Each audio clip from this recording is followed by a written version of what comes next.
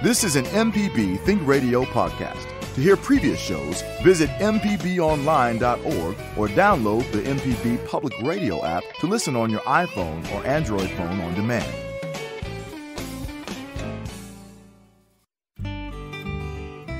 This is Creature Comforts from MPB Think Radio. It's the show all about your animals and the animals around you. Kevin Farrell here with Dr. Troy Majure, veterinarian at the Animal Medical Center in Jackson, and Libby Hartfield, retired director of the Mississippi Museum of Natural Science. Today we welcome back one of the good friends of our show, Dr. Cathy Shropshire. When she's not portraying the heroine Fannye Cooke on stage, she's staying in tune with Mississippi's great outdoors. So today we'll hear about some of the small mammals around the state, like weasels and minks.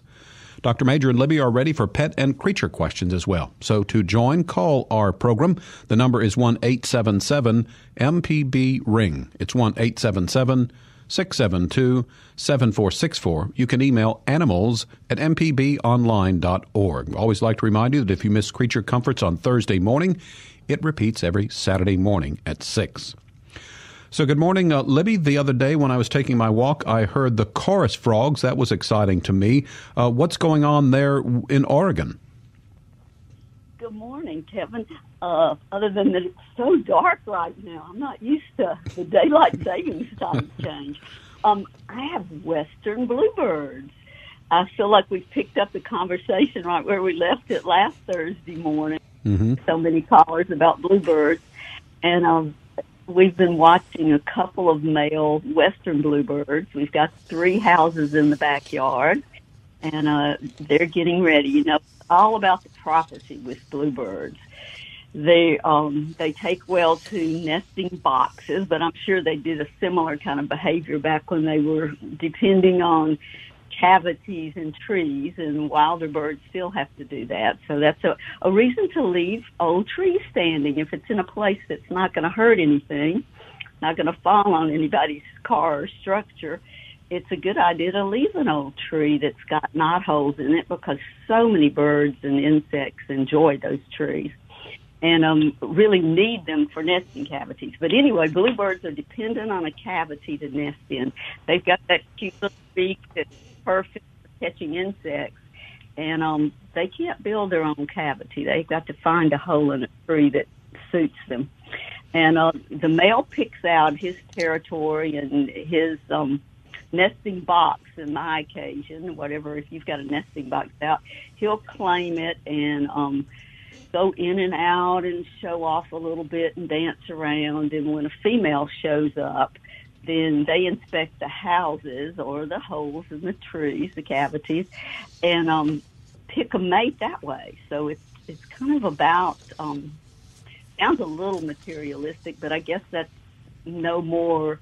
Uh, that it's probably a, a sounder way to pick a mate than on strictly on his good looks or his singing ability, which a lot of birds do.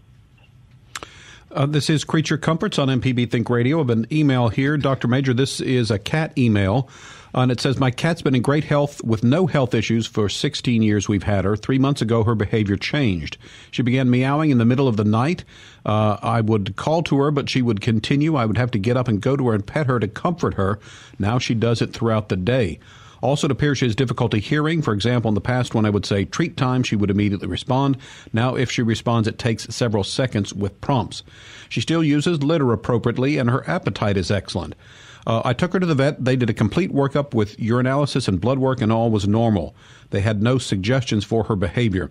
What do you suggest I do to make her more comfortable and me too? She wakes up during the night and follows me around during the day, meowing as if in distress. Thanks for any suggestions. Well, that's that's a great uh, great question, and it seems like they've gone you know through the basics as far as getting the blood work done and vet check. I would question a 16 year old cat possibly is hurting somewhere, possibly having some arthritis.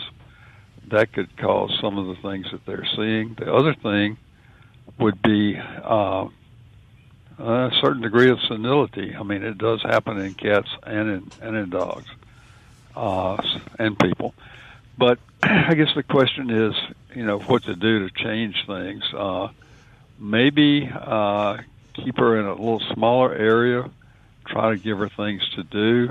Uh, I don't know if she's capable of playing at this point, but I suspect possibly arthritis. This does seem to be a uh, a trend uh, with the cats, especially at this age, 15, 18, and we see a lot of cats in the 17, 18 year old range. So I'd pursue it a little bit further. As far as anything to change her uh, attitude, I don't know that they can, but if she's hurting, uh, certainly some medication that could be used.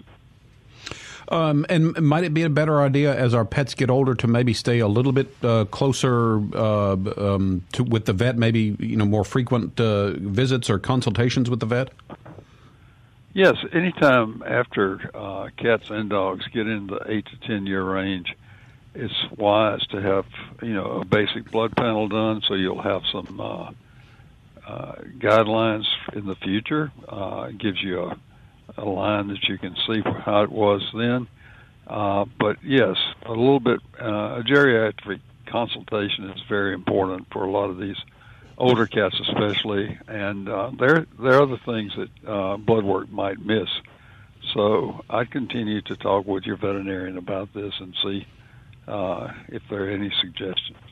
All right, here is another email. This one says, Question about my healer, age three. Sometimes in the morning she wakes up throwing up yellow or whitish foam. She hasn't eaten anything. Uh, any ideas? Oh, I'm sorry. It says she hasn't eaten anything she shouldn't have. I, that's. I'm sorry, I misread that. Okay, I understand. So this is something that happens in the morning. It sounds like probably uh, this dog has an empty stomach. The yellow uh, color usually relates to bile, which would be in the in the stomach at that time. Uh, there may be some sort of reflux going on with this dog, uh, where uh, and they can have reflux.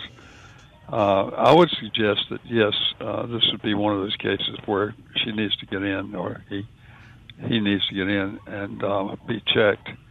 Uh, simply just from the standpoint of this is not normal, especially if this is happening every day. If it happens once in a while, probably not a big deal. But if it's very regular, I'd say yes, need to be checked out. All right, we have uh, one final email here to share. Uh, share. Let me know. Last week we talked about the Joro spider and then more about the common golden orb weaver. Uh, we got this email that says we live in Smith County and last summer had an estimated 10 to 12 of these very large spiders take up residence in our yard.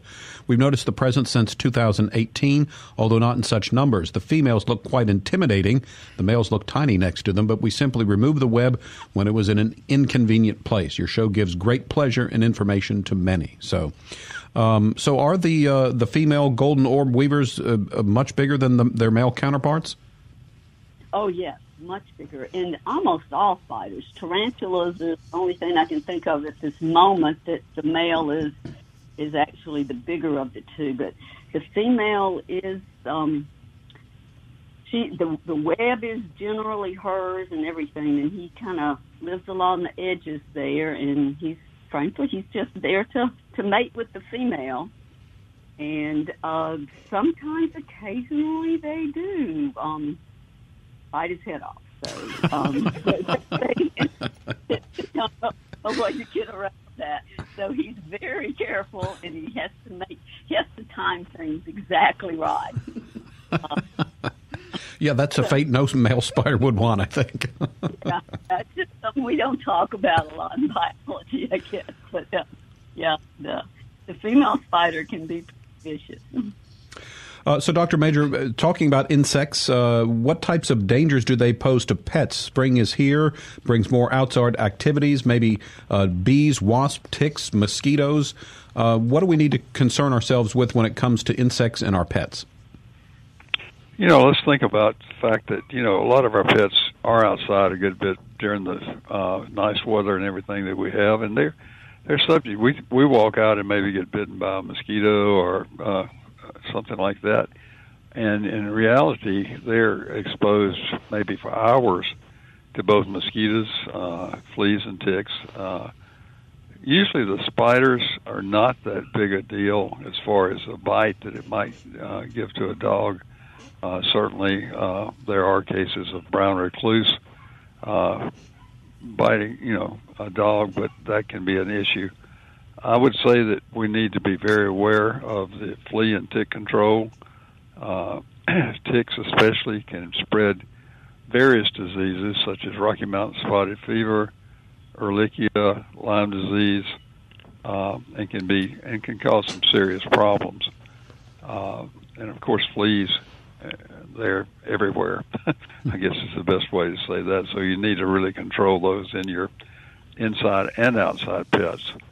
Uh, as far as other things, you know, snakes are a little bit more abundant, and dogs and cats both are curious, and they uh, certainly stand a chance of getting bitten. Be frank, quite frank with you, we don't see that many snake bites, but they are uh, certainly possible.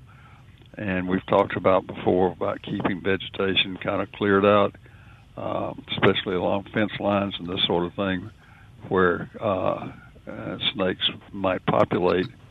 And but dogs are very very curious, and they usually get bitten either on the paw or the nose. Cats are a little bit more adroit or adept, and they usually avoid getting bitten, but cats can be bitten as well. Um, and just uh, we talked about flea and tick control, and I would imagine there are enough different sorts of uh, products, control products, that uh, any pet owner should be able to find something that that seems to work well for their particular dog or cat. Right, and one of the main things is to use as directed, and uh, directions are on all of that. One of the big problems, of course, is uh, if you happen to use something that's designed for dogs on a cat or that sort of thing, and certainly you can cause some problems. Uh, so be very careful with the directions. And there's a whole host of different types of flea and tick medications that can be used uh, so use what works for you. This is Creature Comforts. Time for our first break of the hour. When we come back, we'll talk about weasels, minks, and other small mammals found around the state with wildlife biologist Dr. Cathy Shropshire. Also, if you have a pet question, Dr. Majure is here to help. Call with questions and comments. The phone number, it's 1-877 ring It's 1-877 672 7464. Email animals at mpbonline.org. Back with more, so stay tuned. Hi, I'm Jason Klein from Fix It 101. If you ever thought about changing the doorknob or fixing a leaky faucet, some jobs just aren't that difficult, and yes, you can do it. If you want to find out how to do those things, listen to Fix It 101, podcast everywhere. We're back on Creature Comforts. Kevin Farrell here with Dr. Troy Majure and Libby Hartfield. Today we're in studio. Our guest, wildlife biologist Dr. Cathy Shropshire. If you want to join the conversation with question or comment, the number to call is 1 877 MPB Ring. It's 1 877 672 7464. You can email animals at mpbonline.org. So, Cathy, welcome back. Always good to have you on the show. For those who might not be familiar with you, uh, tell us a little bit about your background and how you developed an interest in the outdoors. Ooh, well, I developed an interest in the outdoors when I was young and lived in the country, and uh, my parents fed me uh, information and made sure that I learned about the outdoors and the animals and um, took that to get a biology degree and um, worked for the Department of Wildlife Fisheries and Parks and retired from there and um, worked at the museum and also in the game division while I was there. And then uh, retired from there and worked at the Mississippi uh, Wildlife Federation for a number of years. And so now I'm free. free at last. So, in the opener, we mentioned uh, that before the pandemic, one thing that you were known for was portraying Fannye Cooke, uh, and I think it's always important for people who might not know about her to, you know, to make people more aware of her. So, if you would tell us a little bit about who Fannye Cooke was and the impact she had on Mississippi wildlife. Um, Fannye Cooke was born in the late 1800s, and um, in the 1920s, she realized that in Mississippi we were losing a lot of wildlife and a lot of habitat, and she made it her job in life to protect that wildlife. And she thought the best way to do that would be to um, get legislation to create a Department of Wildlife. At that time, the state did not have one, and all the other states did. So um, she worked tirelessly to get the Department of Wildlife, Fisheries, and Parks established to help protect wildlife, and she went on to establish the Mississippi Museum of Natural Science. So, when we talk about small mammals today, uh, beginning with the weasel, um, first of all, this is an odd question, but you know, we think about, oh, you weasel. Do we know how this poor creature got such a bad reputation? well, it, yeah, uh, not exactly. I mean, there's a lot of, of, places where the name could come from from different languages, and it means different things. In some most cases, it meant they were more um, maybe not aggressive, but tenacious, that sort of thing. The words not not weaselly. that was not where it came from. I don't. I'm not sure, unless it means you know they are secretive and they do. Um, you know, I, am not sure where, where weasel came from. That may not even have come from that animal. It may have come from somewhere else. so, um, do we have a lot of weasels in Mississippi, and what, what role do they play in, in Mississippi's wildlife? Um, weasels are carnivores. They are in the same group as skunks. I know you talked about skunks last week, so uh, it's in the same group, uh, mustelids, and um, so they control um, well, their um, food is mostly mice and rabbits, rats, squirrels, chipmunks. Um, shrews, moles, those kinds of things. So they're, you know, helping con- to control those kinds of animals in the uh, habitat. And they're very secretive. When I uh, mentioned to somebody that I was going to do this show and talk about minks and weasels, they, they their response was minks and weasels. I was like, yeah, you know, like me. no, right, really. So they are extremely secretive, and probably in Mississippi, most of what we know about abundance or that sort of thing is from trapper reports from the years ago. They were trapped. They're fur bearer, and so they were trapped, and we could over the years see the decline in the numbers of animals that were trapped, and that often indicates a reduction in the number of animals. Um, in Mississippi, and for me, I've seen two in the. I've been here since the late 70s, and I've seen two weasels in my career, and both of them were fairly near my home, within a mile of my home. They were both unfortunately dead at the time, so they are extremely secretive. Um, when I started kind of looking back to refresh my memory, um, uh, George Lowery, who was the mammalogist in Louisiana, wrote The Mammals of Louisiana. And he also that book was printed in the late 70s, I guess. And he mentioned that for his 50 years of research, he had only seen two. Hmm. So they're extremely um, secretive and probably not as abundant as some other carnivores might be. Uh, what about appearance? How big are weasels? What do they look like? Well, they're um, maybe 16 inches.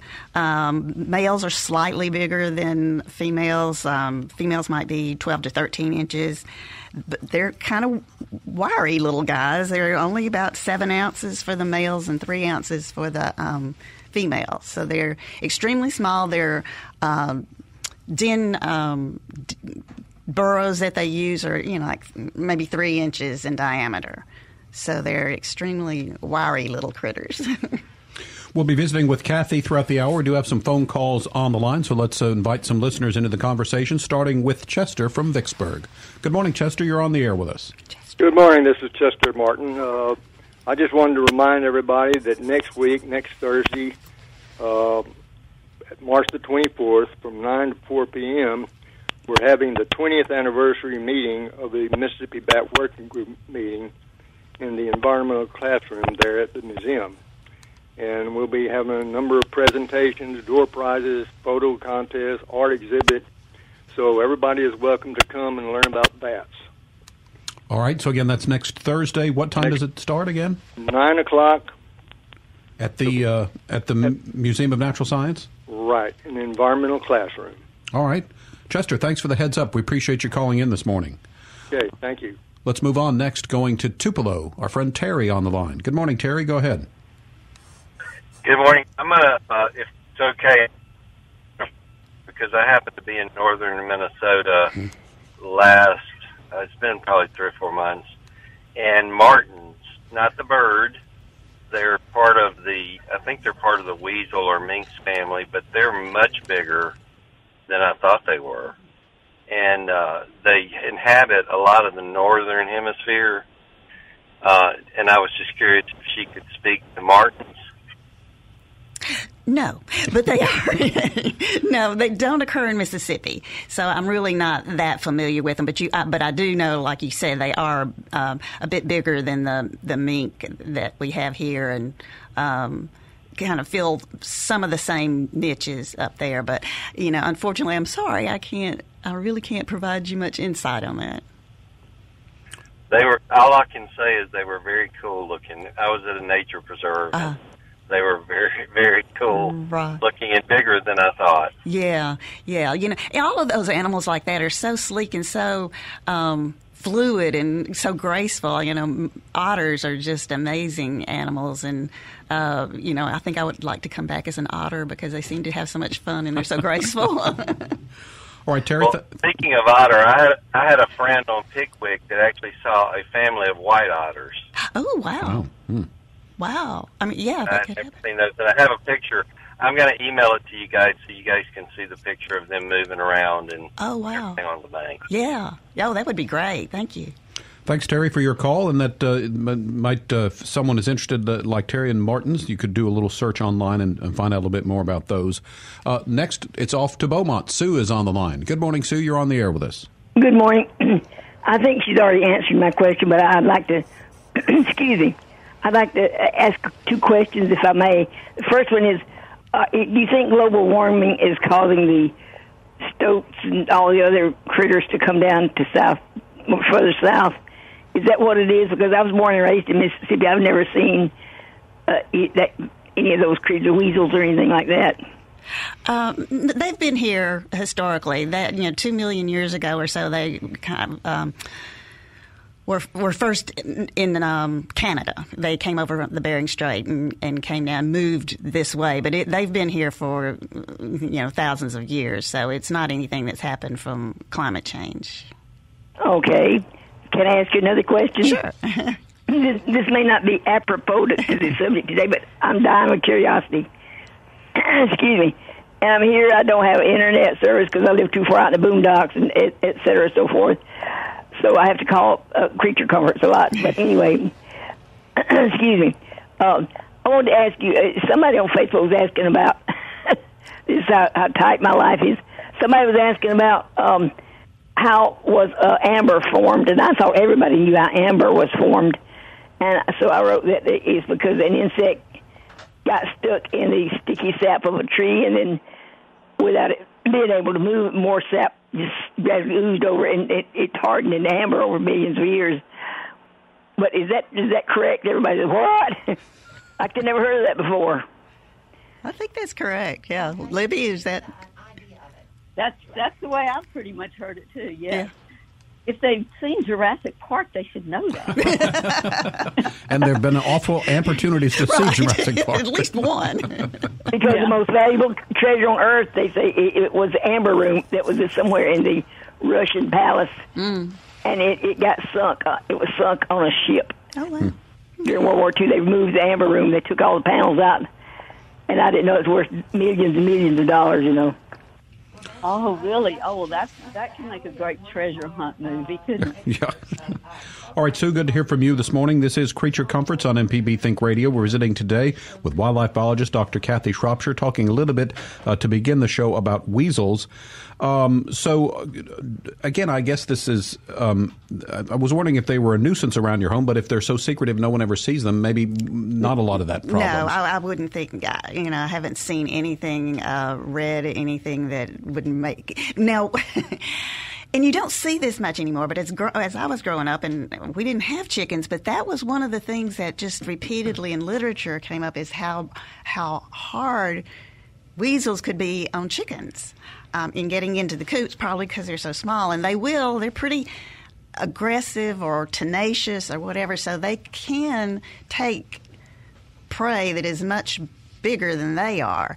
And um, but you don't read that but maybe it's because people don't have chickens like they used to and they're not in those you know out of the way places and farms that um, have a lot of habitat around them now. People have chickens but they have them in the backyard in the urban setting and maybe that's that's why we don't hear it. But but um, that was apparently at some time was quite uh, an impact on people You know, one thing I think that's interesting when we talk about mating is that you know some creatures have small one or two offspring, and others have large amounts or whatever. Where does the weasel fit in on that uh, scale? Uh, well, weasel, this is kind of interesting. Is they mate in um, the spring, but in the sperm and the um, egg um, may come together, but it's not implanted until the spring and then a month later is when the young are born. So it, this almost a year from the time they originally mate before the before the young are born, hmm. and they're um, you know five or you know so young they can have more. But I think one those things when they when you can have those um, litters that are kind of exorbitant exorbitant, it's when the habitat's been really good, and they can have more young. It's not, it's not a normal thing. It's one of those, yeah, it can happen, the sort of things. So. And are they one of them kick them out of the nest type things early on? Well, you know, two or three months later, and then the the females are ready to breed shortly after. So, you know, they can keep that uh, small population going. Um, so we're going to transition our conversation after this break to the mink. Any final weasel thoughts? Weasel thoughts. Let's see. Um, I can't think of anything. They they do have a like I maybe I said high metabolic rate, so they have to eat. They'll eat forty percent of their weight in a day, so they have to be out hunting quite a bit. That's probably why the chickens were in danger. the chickens were in danger. there they were, all tied up, waiting for them. we have to take another break. When we get back, we'll continue talking with our guest, Cathy Shropshire. As I said, we'll uh, move on and talk a little bit about minks. Also, John's on the line with a question.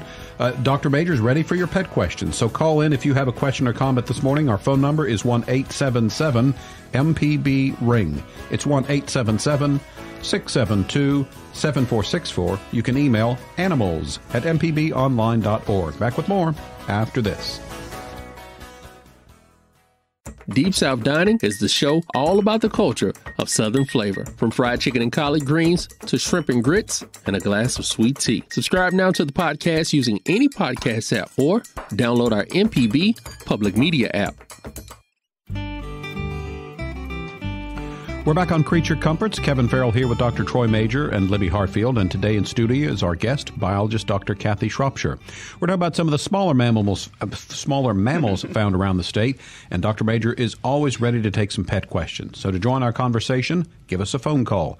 The number is one eight seven seven MPB Ring. It's one eight seven seven six seven two. 7464. You can email animals at mpbonline.org. Let's start talking about minks in just a few minutes, but we do have a caller on the line, so we say good morning to John, who's called in from Corinth. John, you're on the air with us. Go ahead. Well, hi. Good morning. I'm sorry my uh, uh, topic doesn't concern minks or weasels, but uh, no, I, w- I was wondering. I, I grew up during the 60s, and there was a beetle that was prevalent. I mean, in Memphis and in Mississippi, it was gold and and silver. I mean, I'm sorry, gold and green, and I don't know. It's like a half inch long, and and my mother used to know about. They'd put thread on their leg, one of their legs, and let them fly around. They were real gentle, but I haven't. Are they extinct? I mean, I haven't seen one in, you know, many going on 50 years now. Dr. Majure, you're our resident insect expert. Any idea of uh, the beetle that he's talking about? I think you probably have described a June bug.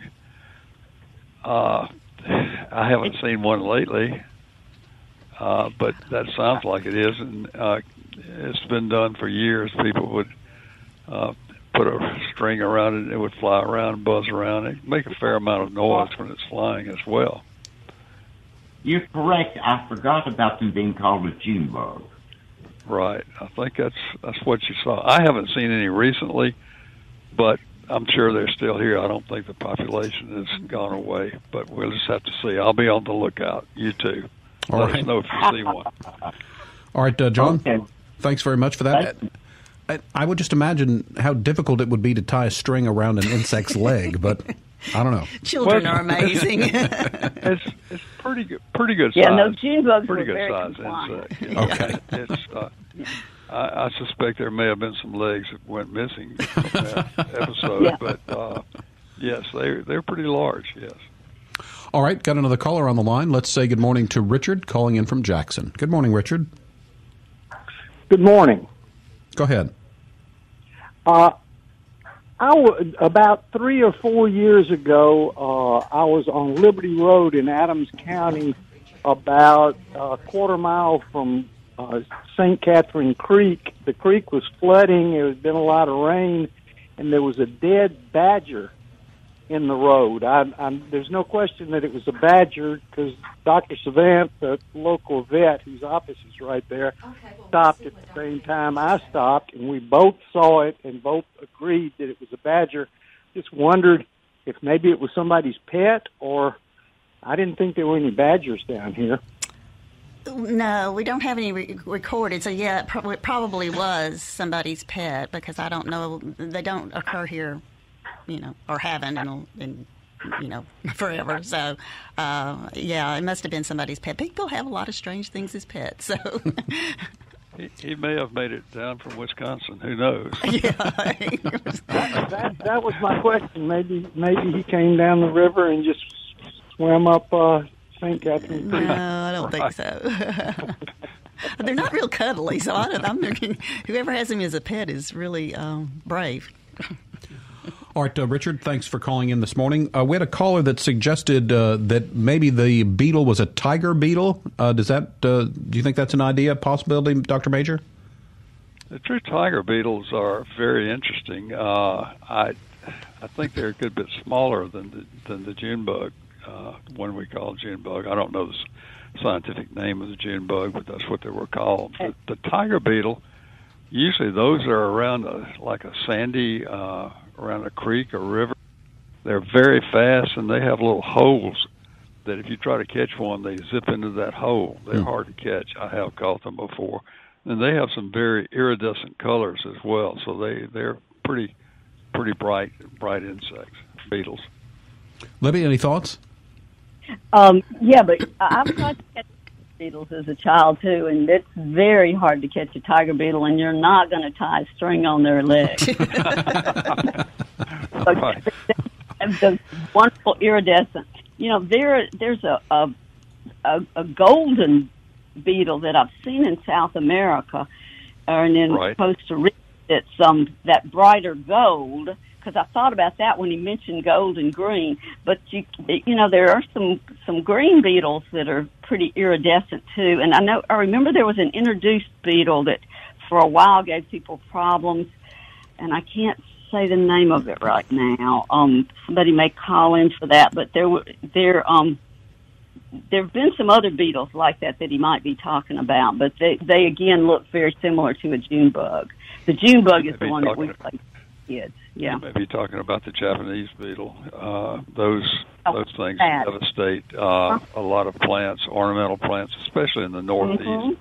I don't think Yeah, we they were- have them here, but they're pretty good size. Yes. This is Creature Comforts on MPB Think Radio. We're visiting today with our guest, Dr. Cathy Shropshire, and we're going to talk about minks. And Cathy, I guess, at least in my mind, most people might think of, you know, a mink's coat when we think about a mink. You know, that's interesting. I when I was telling the, this friend that I was going to do the show, and I said mink, and I said, you know, like mink coat. And they looked and they thought about it, and then they said, well, I've heard of mink coats, but I never thought about. And she didn't finish, but I know it was where they come from, which too often we don't think about where things come from. So, yeah, that's that's mink. So, um, are they closely related to weasels? Yes. In fact, this was something else I learned being out of the system for so long. They've actually changed the genus name for mink and weasels. Um, it was Mustela, and now it's apparently Neogale. They've um, done a lot of research, and you know they have access now to more things that help them determine. People, the scientists determine um, species and that sort of thing. So they actually are, are in a new ge- genus that really comprises North American. Um, species and does not include the European species. So, um, but and this is one of those things where you know we talk about out out competing. American um, mink have been taken to Europe and for mink farms. Huge, huge mink farms, and but you know occasionally they do escape, and so they are the American mink or those that have been in the farms are out competing some of the animals that are there in Europe. So when we start moving these animals around, we really need to consider what could happen.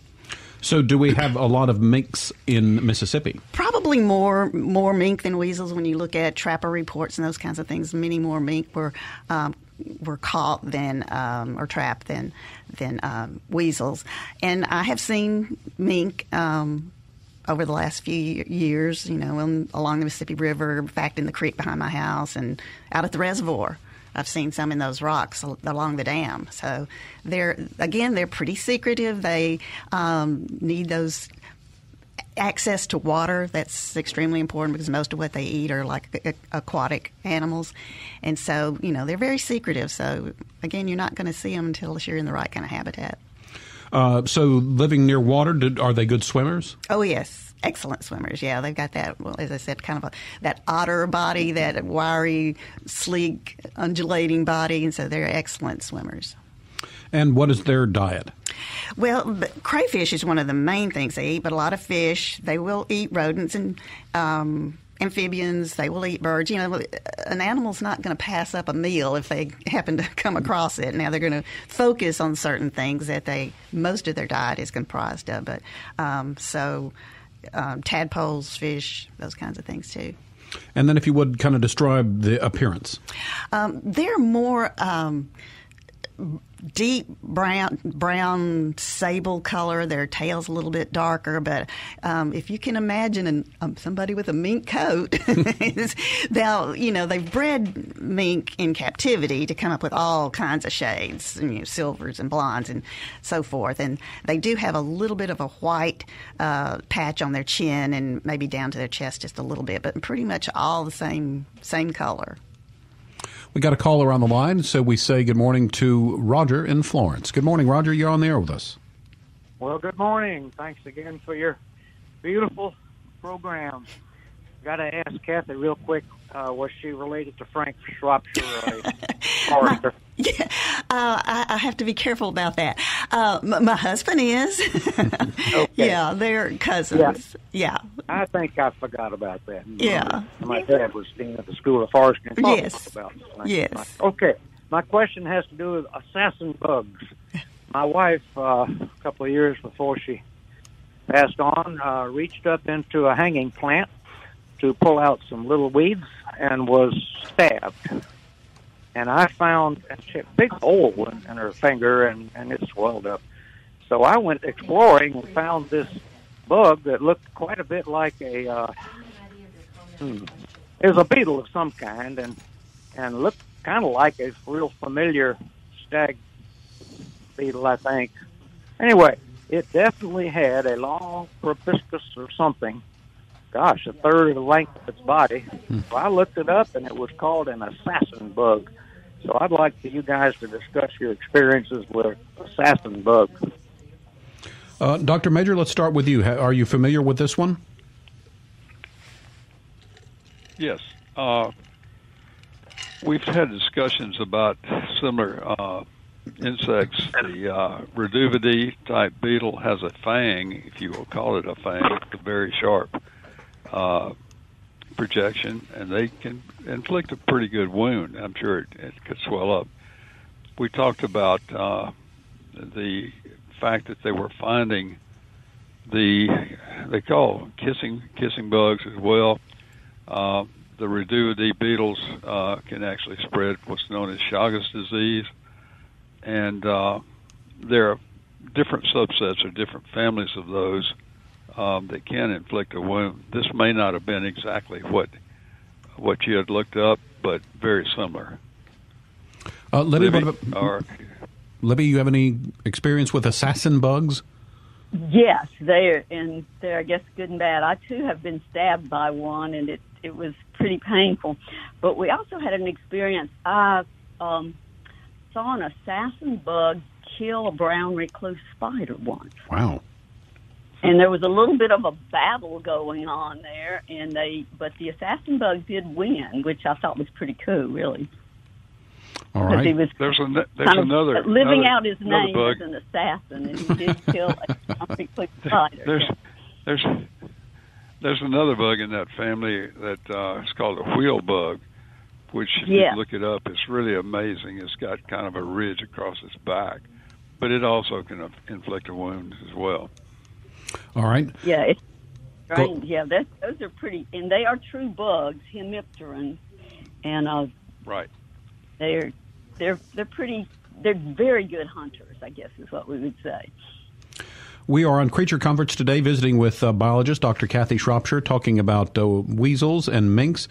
Uh, and Cathy, you mentioned that uh, especially the weasels are ex- extremely secretive, and that we don't know a whole lot about uh, population sizes. So, w- when there's an animal like that, w- what do we think about the need for protection or putting on an endangered list or something? How do you go about trying to figure out if they belong there? Right. Well, that's you know you you have to make every effort to collect in some way that information so that you have grounds to say you know we see a, a reduced population. And you know it's really hard. It's it's easy to say we've got something there. It's very difficult to say we don't have it's something out there. Um, there's always that possibility you're just not at the right place at the right time, and that they're there and they're um, uh, abundant. And that's where things like the Natural Science Museum come in so handy, is because you know hopefully they are. I have taken a specimen, a weasel specimen to them, hopefully other people uh, will you know take the effort to at least if they can't give them the specimen, at least give them the information so they can look at, you know, distribution and population and try to, to come up with something. So you, you really got to have good data to show that the population is, you know, you've got anecdotal information at this time, but. Um, you know, when we talk about declining populations with a lot of wildlife, uh, ha- loss of habitat is, is usually one of the main reasons. Right. Is that something that we should be concerned about with the with, with these creatures? Oh, sure. I mean, anytime you you take out a, a wooded area where that's providing a habitat for their dens and a place to hide and that sort of thing, then yeah, you're you're reducing their available habitat. So, you know, if you go along a, a river and creek or whatever and clear off the sides, you've probably damaged habitat that was useful to some of these animals. So, yeah, that's that's got to be one factor for sure.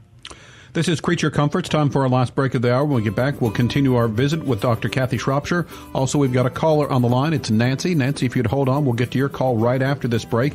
There's still time for you to call in as well for pet and creature, creature questions answered.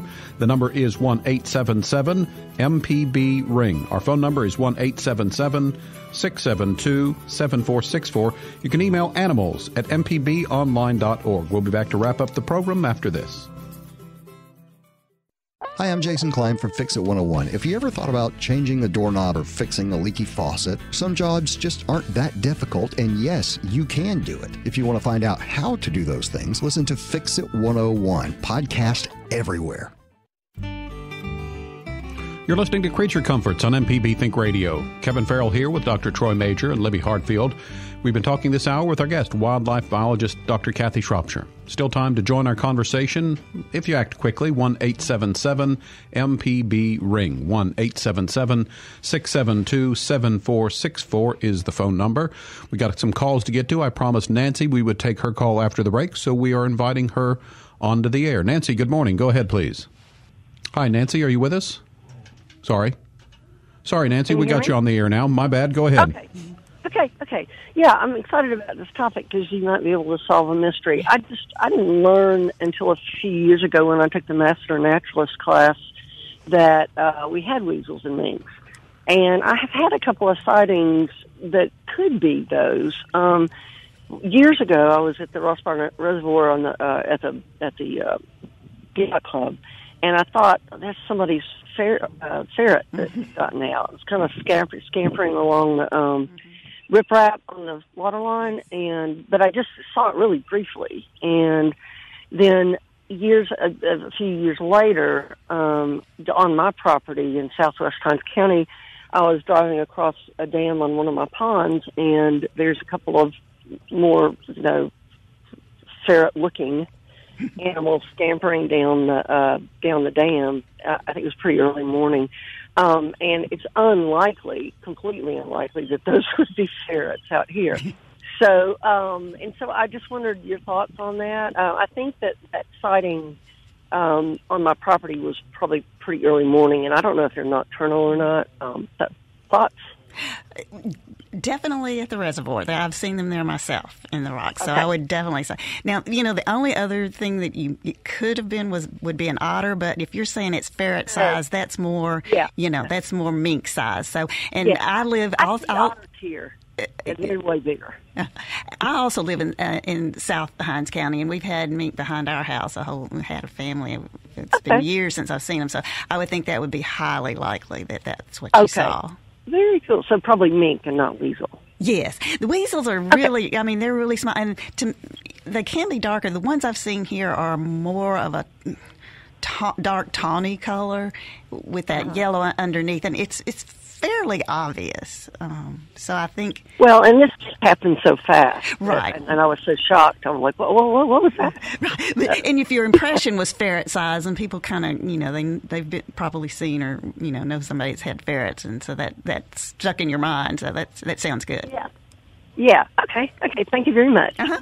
Good to hear from you, Nancy. Thanks for the call. Uh, we had a caller that uh, wasn't able to hold on, and it was Johnny from Mendenhall. And Libby, he was asking about he either had thought he had moles or voles, and again, we've talked about that before. But when you have that type of a creature in your yard, um, any suggestions on control?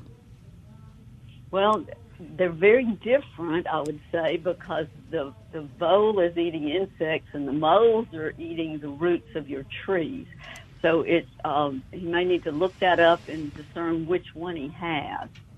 Uh, moles make a, a more obvious problem in your yard because they make that mound, you know, like looks like a, a tunnel, but it's the reverse side of it, I guess, almost like a pipe. And uh, they, um, to me, they're much more destructive. Although I don't know, I've had a lot of trouble with voles too. So, um, I, I gosh, I'm not sure. No, wait, I, I think I said that backwards. The mole is eating insects, and the vole is eating the roots of your tree. But yeah, so uh, the mole though is more obvious. So if he can detect which kind, he may need to get some help to deal with those. Or um, he can, there's there's a lot of information online how to deal with either one.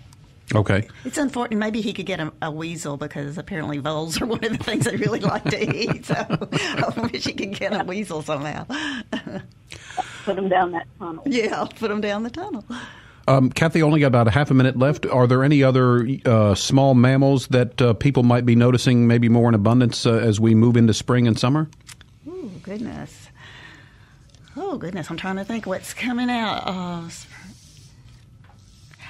Well, you know, the rat. We saw my dog and I saw a rabbit yesterday. We we jumped the rabbit uh, yesterday out of the out of the wood pile. So she really wanted to go in and t- investigate that wood pile, and I thought, no, well, there might be babies in there. It's a little early, but no, we do not need to go investigate the wood pile. Alrighty. That's going to wrap us up for today. Creature Comforts is a production of Mississippi Public Broadcasting Think Radio, funded, provided in part by listeners. To hear today's show or a previous show, you can visit creaturecomforts.mpbonline.org. Our show is produced by Jabba Chapman, and our call screener today was Liz Gill. So for Dr. Troy Majure, Libby Hartfield, and our guest, Dr. Cathy Shropshire, I'm Kevin Farrell, inviting you to stay tuned. Up next, it's AutoCorrect. We'll be back next Thursday at 9 for Creature Comforts, heard only on MPB Think Radio.